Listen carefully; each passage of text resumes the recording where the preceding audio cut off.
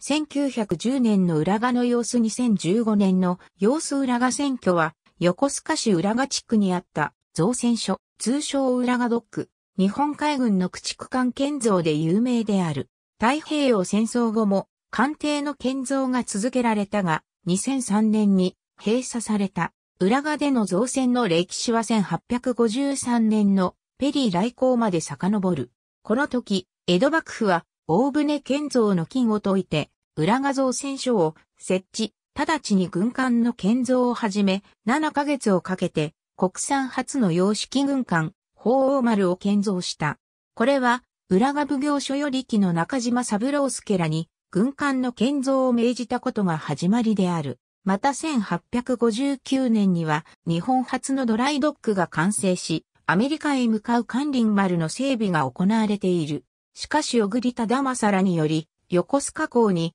製鉄所を建設することを決定し、艦艇建造の中心は横須賀へ移り、裏画像戦所は1876年に閉鎖された。1894年に中島三郎介の意思を継ぎ、荒井久之助、榎本武明、塚原修造が中心となり、1897年に浦賀選挙が設立され、かつての浦賀造船所と同じ場所に工場が建設された。同時期に同じ浦賀に建設された東京石川島造船所の浦賀分工場との間で艦船建造、修理の受注合戦が繰り広げられたという。この競争はダンピング合戦を生み、両者の経営を悪化させた。ほどなくして、石川島の浦賀分工場を、浦賀選挙が買収、自社工場とすることで決着した。石川島との競争や、フィリピンへの放艦輸出が不調となるなど、当初は経営が思わしくなく、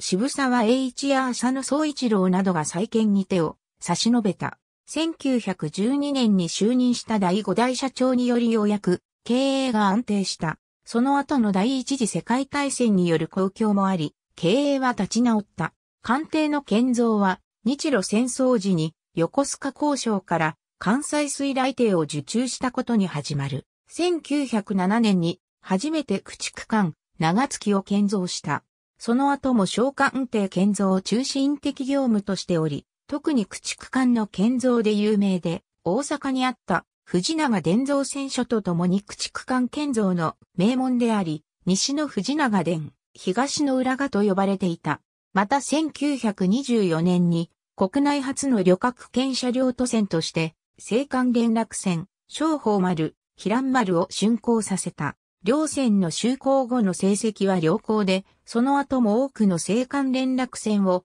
浦賀で建造することとなった。太平洋戦争後も海上自衛隊向けに艦艇建造を続け、米空母ミッドウェイの大規模改修、日本艦建造なども行われた。住友機械工業と合併した際、追浜造船所を開設、民間船建造はこちらに移った。浦賀地区は工場集約のため2003年に閉鎖された。現在、浦賀選挙の第1号ドックは世界に4カ所にしか現存していないレンガ積みドライドックのうちの一つである。国内でも明治期のものは浦賀ドックと川間、ドック跡しかなく、両者とも貴重な文化遺産である。2007年11月30日、浦賀選挙の第1号ドック、ポンプ施設、ドックサイドクレーンが近代化産業遺産に認定された。1936年にスイスのエディコン社と航空機用 20mm 機銃で技術提携、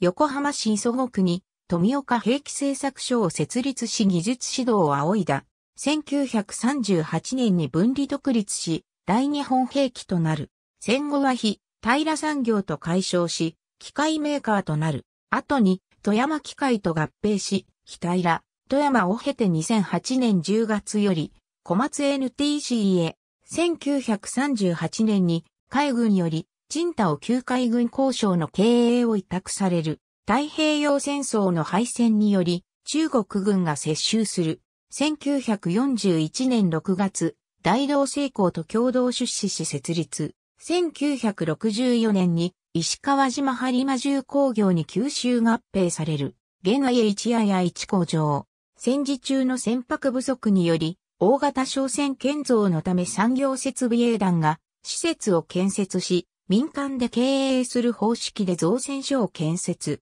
全国の4カ所で建造され、四日市では年間10万総トンを予定する。1944年3月に設備一部完成により開設。1945年1月に第一戦、鉄山丸を寄港するが6月の空襲による火災で、造船所は消失、一隻も竣工することなく9月に閉鎖された。鉄山丸のみ戦後に裏賀で工事を続行し、1947年に竣工した。戦前、編集戦後、編集、船舶用、ディーゼルエンジンの製作を主な事業としていた IHI 愛知工場に関するカテゴリー、四日市造船所に関するカテゴリー、ありがとうございます。